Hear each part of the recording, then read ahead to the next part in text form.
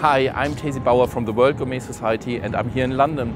The city is full of fantastic restaurants. Chefs create innovative menus and present their food absolutely beautifully.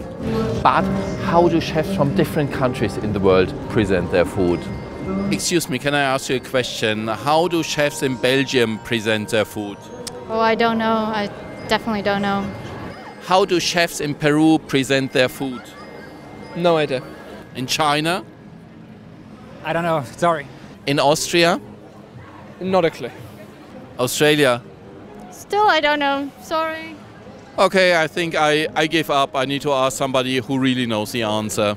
I'm here at the Ledbury to meet Andy Hayler. Andy Hayler is the only food critic who visited all three star restaurants. He will know the answer. Hey Andy. Hi. Hi.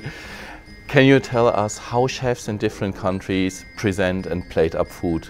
Sure. Um, well, for example, in Japan, uh, simplicity and elegance are everything. Yeah, absolutely. Well, chefs in the world, Andy obviously knows the answer, but many foodies don't. For that reason, show the world how creative you are in presenting food on a plate. Join the World Gourmet Society Best Plate Challenge. Send me a video or a picture that captures your best plate. In the video, I want to see you, maybe your restaurant, your techniques, your ingredients, your team, but most importantly, your best plate.